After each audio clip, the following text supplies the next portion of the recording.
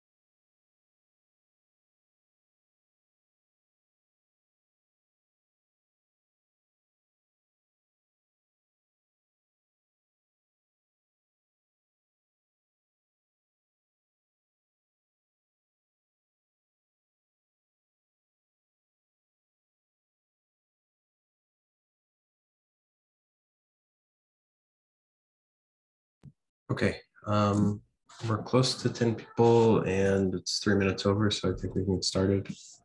Um, we have one item on the agenda today, uh, but before that, just um, uh, PrestoCon Day is, is next, next, next Thursday, the 21st.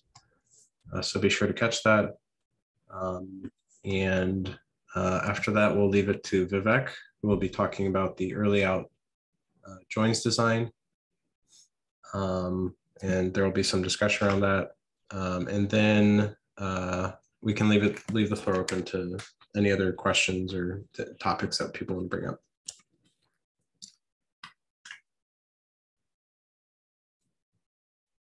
Okay, so uh, Vivek, would you like to take the floor? Sure, yeah. Um, honored to be the only item on the agenda today. And so um, can you guys see my screen? Yes, I see it. Okay. So what I was hoping to do here was to quickly run through the design that we have on a series of optimizer changes that we want to make to how semi-joins perform in Presto. Um, so quick problem statement here, right? I think um, uh, existential subqueries are a very common SQL construct, which take the form select something from table T, uh, where some expression matches or exists in some subquery SQ, right? The idea here is that um, as long as there is at least one tuple from T, um, or there is at least one match for a tuple from T in subquery, subquery SQ, then you want to output that tuple as a result of this operation right? So we call the subquery SQ the filtering source, and we call the table T the source, uh, the data source in this situation. So what we're going to go through here in this design is uh, valid for both in and exist queries, which take this form, and their counterparts not in and not exist. Um, so the way this SQL construct is processed in Presto today is that it's converted straight up into something called a semi-join operation. So a semi-join operation is where um, is a special kind of join where the inputs are not treated the same. The inputs from the right side of the join, right, which is the filtering source, you ignore all the duplicates on that side of the input, and then you try to perform a match with the input on the on the left. Uh, so we call this a kind of early out join, wherein you only care about one match for each input on the left uh, of the join, and you kind of cop out or you uh, you you halt processing as soon as there is one one match. So this is a very efficient operation, as you can imagine, right? A semi-join is typically a very um, efficient operation. However, you can imagine situations where this is not really optimal. Uh, so the obvious case is when your subquery SQ is very large. So now you wind up building um, a very large hash table out of the right input, right? And it can even go so far as to say that if the input in SQ is large enough that you cannot hold it in working memory, then PrestoDB today um, turns turtle, right? It doesn't, uh, it, it, you run out of memory and then you halt execution. So what we really want to do is to be able to try to convert these semi-joins into a, into a form where the input to the join operation can be reordered, right? So join reordering in Presto today happens only with inner joins. So what we want to do is to convert these queries where um, where it will be optimal for join reordering to happen into a form where the, this can be done in, in an inner, inner join operation. so in, in, in here, I go through a few situations where using some simple TPCH uh, queries, I can show that both performance and um, uh, the, whether or not the query can actually run is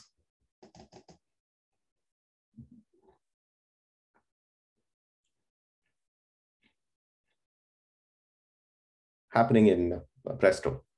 So what we want to do here is try to see if we can uh, convert this set of queries into uh, a different uh, logical forms, which can then be run more efficiently, right? So in the previous example, I was showing you how you can actually convert the, one of these queries uh, into a logically equivalent form where the you know, where the join orders get flipped and then successfully executes, while previously it ran out of memory and then failed. So the actual rewrite that we're talking about is, uh, is one of these cases, right? So in, in case 3.1, I go through a canonical representation of the in uh, the existential query, right? Where I have a source A, a filtering source B, and then the in subquery is on matching on expression one and expression two, right? So we posit that this, this SQL construct is logically equivalent to what we have over here, right? Which is that for each, uh, where I convert this into a inner join with a distinct or a final aggregation on top of the inner join. And the way we do it is by annotating each tuple from A with a unique ID, right? And then performing an inner join on subquery one and subquery two, right? So what this now does is that it converts a one-to-one join into a one-to-many join where, where the inner join now will match multiple, uh, may produce multiple tuples for each tuple in SQ1. But however, each of these tuples is now annotated with the unique ID. And now then we use the final aggregation on top of this inner join to actually squish it down back into, um, into one, uh, into a unique value for each tuple in SQ1. um, questions so far? Yeah, I do. Uh, are you saying then that B has a very high cardinality so that a broadcast join is infeasible? Correct. Yes, I'm saying when B is a, has a large, uh, uh, it, it, yeah, it, it's not even a broadcast join, right? Even if it's going to be a repartition join and B is pretty large, you still wind up with memory issues and performance issues. I mean, okay. memory pressure and performance issues. So what we're trying to do is to try to come up with a framework in which you can choose the best possible plan depending on um, the sizes of the relative sizes of the inputs to the to this operation. Okay. And have you seen what Drill did in terms of distributed broadcast join? to Um, handle with with automated spills to handle out of memory type. Right. So uh, actually, I have not. I would I would love to talk more about that. But in general, I think with Presto, right, we what we try to do is we try to avoid spills as much as possible in the Hmm, in the sure. context of holding as much uh, data and memory. So spill is going. Spills is a. I think it's a. It's a. sep- It's it's a tangential discussion to this whole thing. Mm, Spills should be avoided, yes. But the general strategy of rearranging, transforming to a join, rearranging so that B is the smaller item and it is held in memory, the larger item is scanned. That prevents a spill as long as the smaller item fits in distributed memory. That is correct. Yes, that's that's the, that's the overarching um, goal that we're trying to achieve. But I don't think you need the distinct operation for that.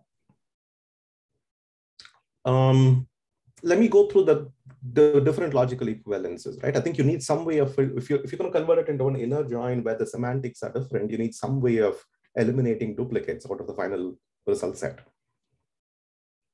You're right, and uh, but drill has uh, a logical operator which lets you filter against a distributed data set, Um, so you don't need to do the the distinct afterwards.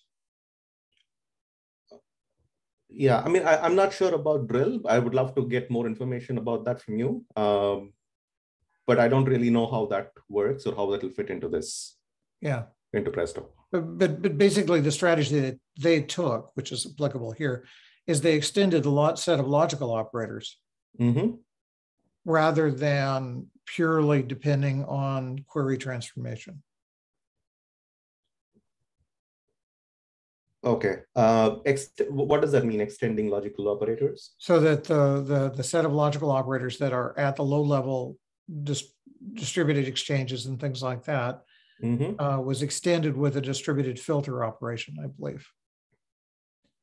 Okay. So that that original form, if A is larger than B anyway, and if B fits into memory, then it, it literally implemented the first form Okay. and and would just stream a uh, each reader of a would read a, a, a record and then throw that record at the correct element that contained the corresponding or could contain the corresponding pieces of B. Okay. Okay. Uh, that sounds very interesting. I would love to follow up. Uh, if you have more information to share on that one, I would love to, um, or just feel free to add it to this. I, GitHub I issue. don't have the specifics. I was a spectator on that work. Okay. Okay. Um, I'll, I'll, I'll look it up. Uh, I'll, I'll try to see if I can follow up. and Or just pop into the join the drill Slack, and they're very friendly people. Ted, the, what you're referring to is um, dynamic filtering, if I'm not mistaken, or, or did I get Sounds that wrong? very right. Yeah. Okay. Um, so we already do dynamic filtering for broadcast joins. Um, I, I think like we just don't do it for um, uh, for for non-broadcast joins.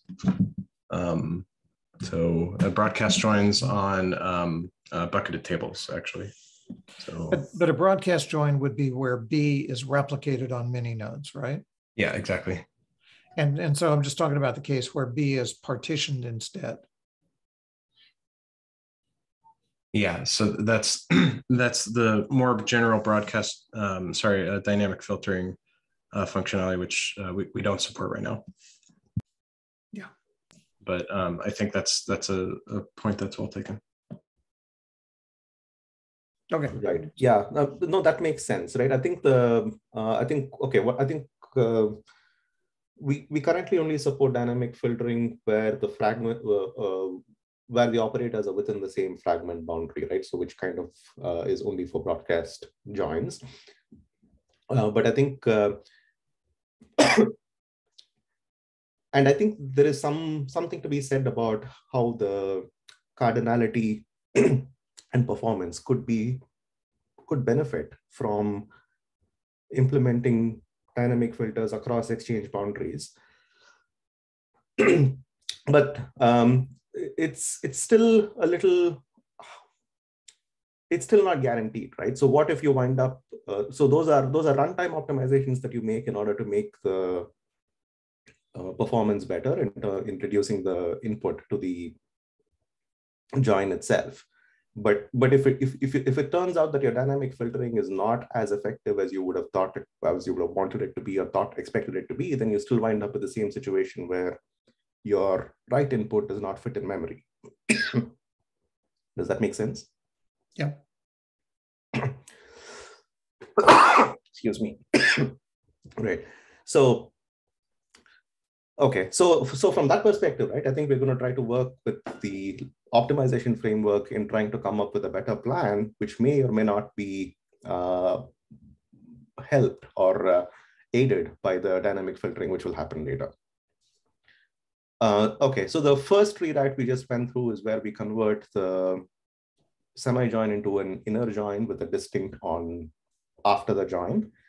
The second logically, logically equivalent uh, rewrite is one where the you perform the distinct or the aggregation on the input B before the join itself, right? So now when you do the inner join, you're guaranteed that there is only unique values for expression two in subquery two, and therefore every single tuple can match with at most one tuple in subquery two, right? Which is kind of the semantics of the semi-join again.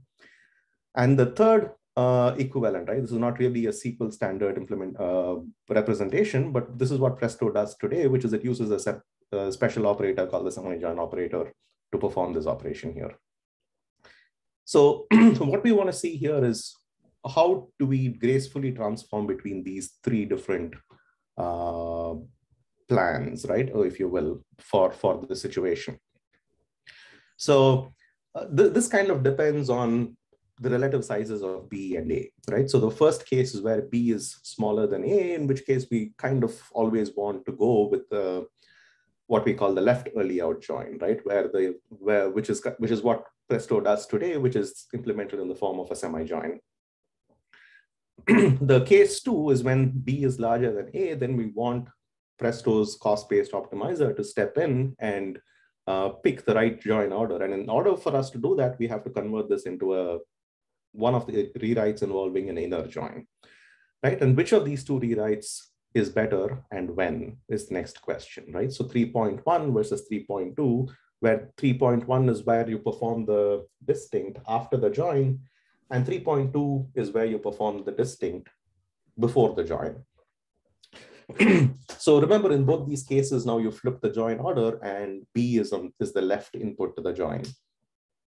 So if now that you converted this to an inner join, right now it is possible that the size of the intermediate result set of the inner join is actually pretty large because now remember this is a one to n join. So if you have uh, a large intermediate result set which is being produced as a result of the inner join, then the final distinct on top of the inner join may have a lot of work to do. And the large intermediate result set also produces, induces memory pressure on the system. so if, if you wind up with a situation where the inner join produces a large intermediate result set, it's possible that you wind up wanting to perform the distinct aggregation before the inner join in order to reduce duplicate matches, right? Uh, but on the other hand, if your join itself is cardinality reducing, that is, there's only very few tuples that match and your join is actually acting as a very powerful filter for you, then you're probably better off uh, incurring, uh, you're, probably better off postponing the aggregation to after the join where you have much less data to work with for correctness, right? So this is kind of the uh, the, the, the three main situations where we're trying to deal, uh, we're, we're trying to handle here, which is that if B is smaller, then we go with the existing semi-join framework. And then we switch between rewrite 3.1 and 3.2, depending on whether the inner join is a cardinality reducing join or not. But regardless, I think the main thing here is that what Presto does today is that it, it does a very simple logical transformation, which goes straight away to um, rewrite 3.3 here, right? But we argue that this needs to be a cost-based decision, which kind of uh, switches between these three re rewrites as necessary. Uh, so the way we will implement this is through a series of optimi optimizer rules. Uh, the first rule will come, will come in and say, hey, I'm going to convert this um, in subquery, existential subquery, into rewrite 3.1, right, which is the distinct um, after the join. And then we have the Presto CBO come in and then look at the join and then reorder if necessary right? And then if the join has not been reordered, as in where the uh, where B is still the right input to the inner join, then we go back and we rewrite it out to the semi-join format that, uh, uh, that, that Presto does today.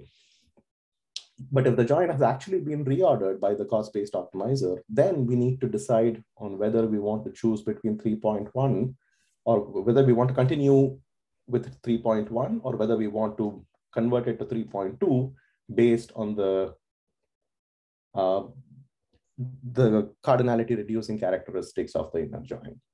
So this is kind of the uh, overall workflow that we have in mind for this set of rewrites. Um, let me pause there. Vivek, I have one question, Vivek. Mm -hmm. This is uh, Jim Apple from Meta. Um, so anytime you do a rewrite like this, where you're depending on the CBO to change your, potentially change your join order, mm-hmm. there are going to be um, databases uh, and tables where you don't have statistics or you have bad statistics.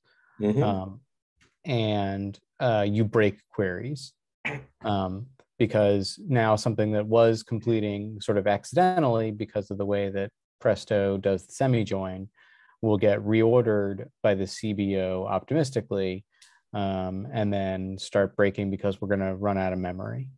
Um, right. Is this something that you've tested out to see what the footprint is here, what the blast radius is?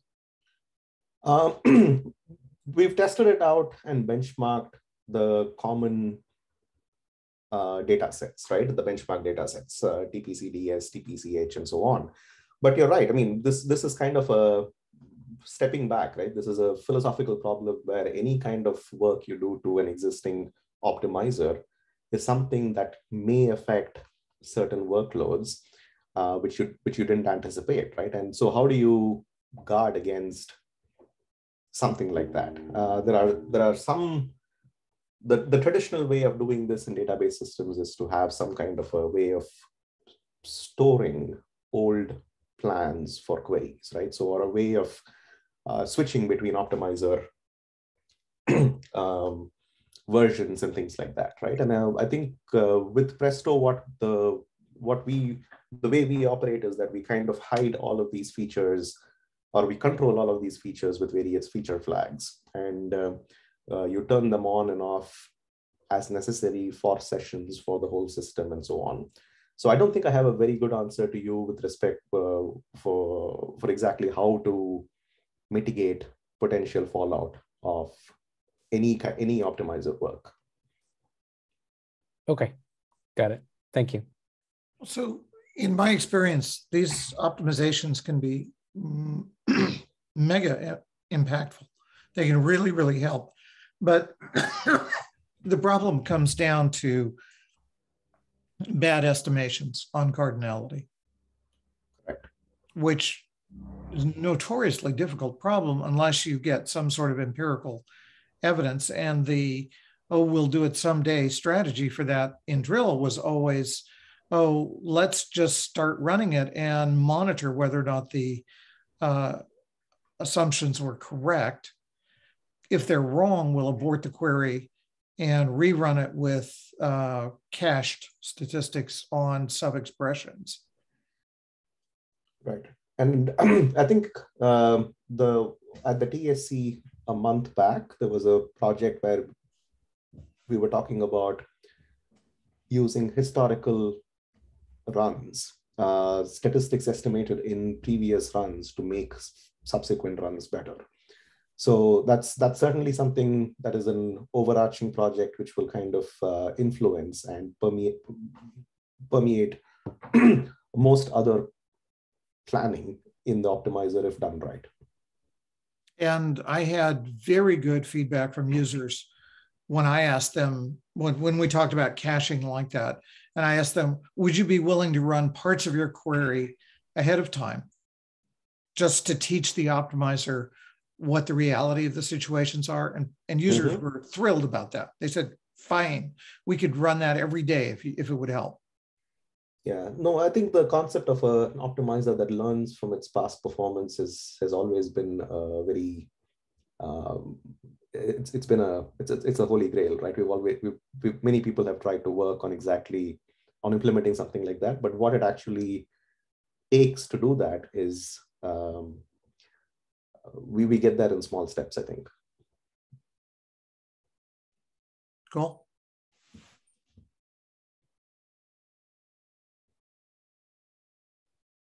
If you could get think, that, that would really kill a lot of devilish situations. No, yeah, I think I, I, don't, I don't know if you if you um if you if you were there for last month's meeting, but I think no, the, the folks at Meta are working on something like that. Or they're putting together the building blocks for something like that. And yeah, it's it's it's exciting. Well, that's it from me. Thank you, folks, for listening. Um, any more questions, I can, I'm happy to talk or we can interact more on this GitHub issue itself. Yeah, and even if you get a poor caching algorithm, if you just restart the query, the query optimizer probably will have learned its mistakes. Right. Yeah, the cardinality estimation is a tricky problem. I right. I'm not I'm not saying it's not a tricky problem, but all but I think for for the purposes of this work here, I think that is a tangential question. But if you ran that query twice in a short time span, the cardinality estimation becomes much easier because the mistakes become clear.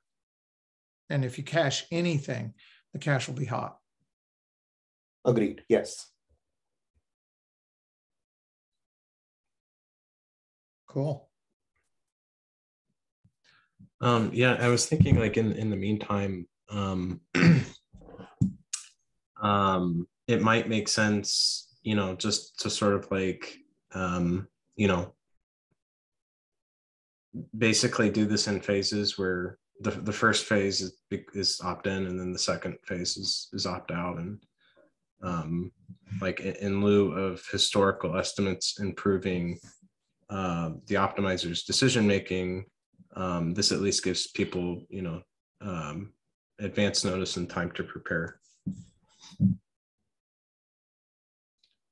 That's true, right? I think the in general the way we've been doing is we uh, it's always opt in uh, for any new feature, optimizer or otherwise in Presto, right? And then over time we kind of um, once things are a little more battle tested, we turn it on and switch the flip the default. Is that what you're suggesting? Yes, but um, just making it so that when we flip it on, you know, like you know, like there's like a an announcement section in the release notes. Like that definitely seems like a announcement worthy thing where you know, mm-hmm. you know, yeah. like there's um, there's been adequate time, and you know, if you haven't prepared, like you can keep it disabled, but there's something you as the Presto operator needs to do to uh, to make this safe if you haven't prepared yourself for this. Right. Yeah, that is that is a good point. We, we should do that. I'll, I'll make a note of that.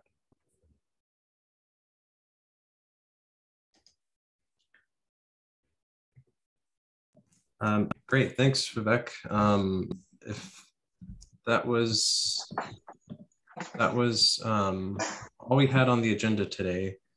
Um, wanted to leave the floor open to see if there's any anything else anyone wanted to bring up or discuss.